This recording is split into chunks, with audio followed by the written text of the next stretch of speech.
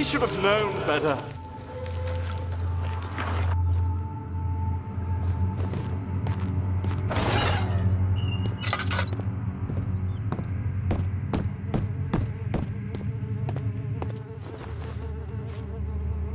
Fourth of August, 1839. The nightmares woke me in the early morning, and for a moment I forgot where I was.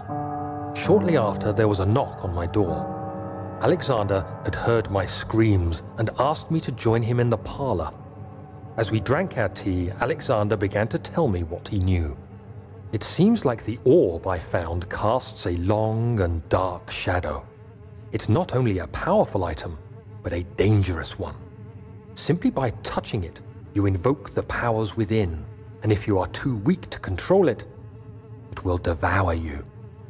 The shadow is a sluggish thing, lagging behind the wielder, killing anyone or anything in its path to reclaim the orb. I said I didn't care about its powers and that I should throw it away. Alexander advised against this, as I'd still be a part of the path to the orb and eventually suffer death. Having the orb, I would at least have the chance to fight back when the time came. I asked Alexander what he meant when he said he could protect me, and he answered that things can be done, but at a price.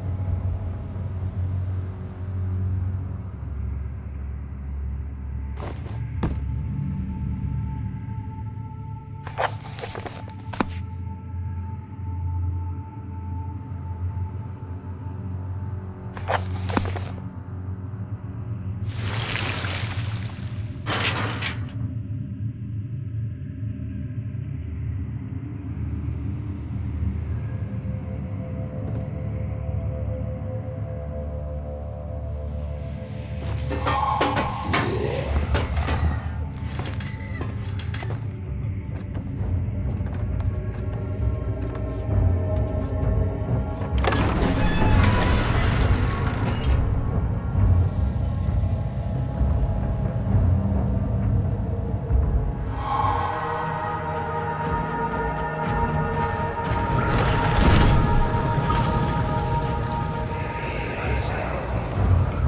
So you used the drain sewers as a means of transport? Yes, they were built to divert water from an underground spring and are quite spacious. It seemed only natural to incorporate it into the overall structure. But we won't be using it. Not today. The flow is seasonal, and when the spring runs dry, the damp tunnels produce a rather poisonous type of fungi. There is an antidote, of course, but we won't be bothering with it today. Come, this way instead. We're almost there.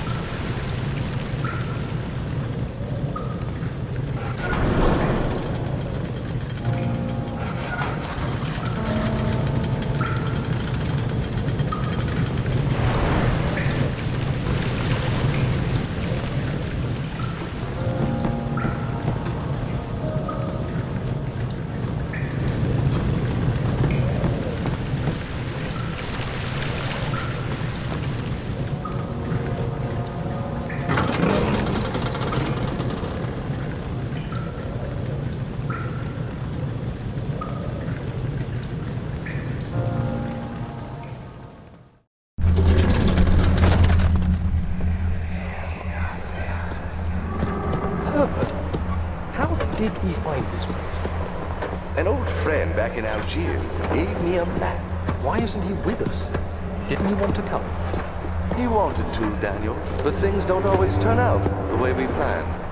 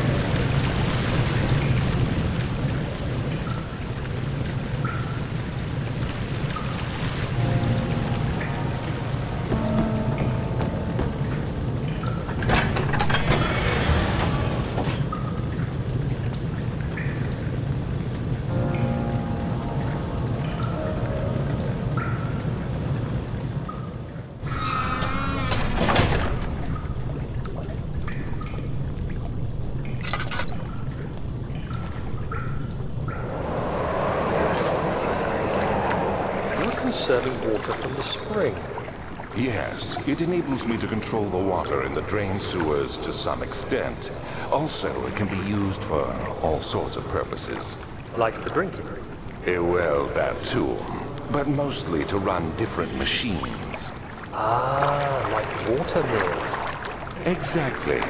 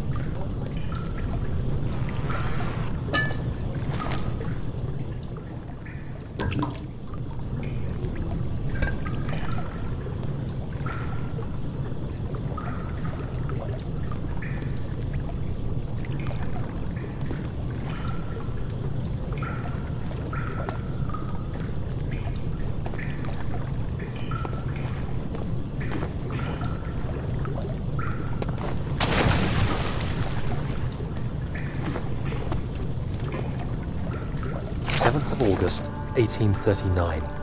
There is no denying that Alexander puts a lot of faith into what I can only describe as magic. I'm not surprised. Even while traveling across Europe, I assumed I would have to embrace the supernatural to save my mind and life.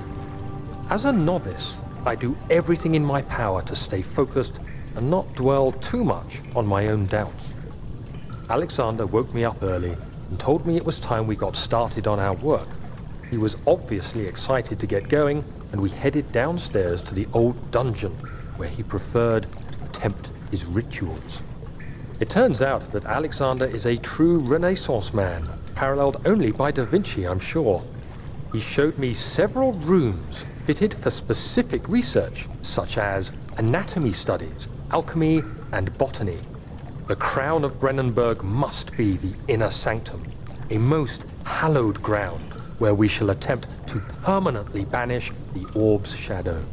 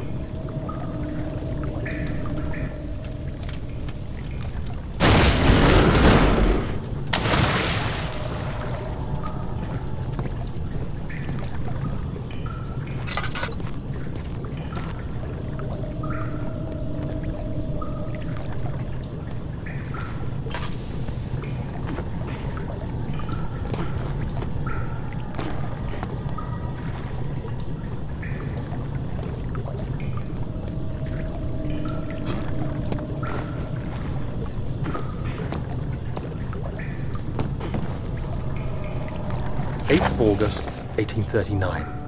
I could never be certain until today that I was on the right path. Using my orb, Alexander managed to channel its power unto us. The inner sanctum flared with blue, fiery light, and I could feel the same things I felt in the dark chamber in Algeria. It was like standing in a mad whirlpool of impressions. It was terrifying, but Alexander kept calm and wielded strange tools of science in order to tame the storm.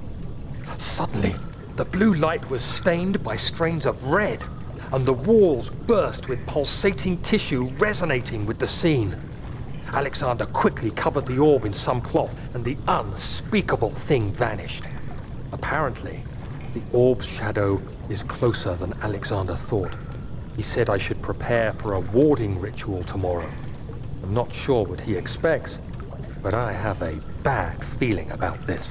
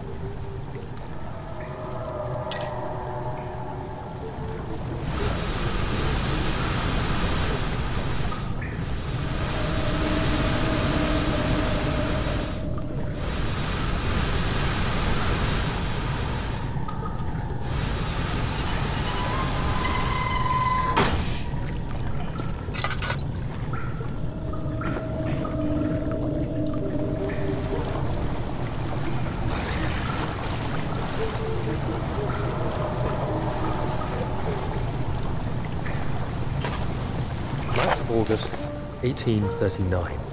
It is still early, and Alexander is busy preparing for the ritual later today. Seeing him this worked up makes me question why. What does he stand to gain? I realize he is curious about it all, but surely there must be more. Is he so foolish he will attempt to tame the power of the orb?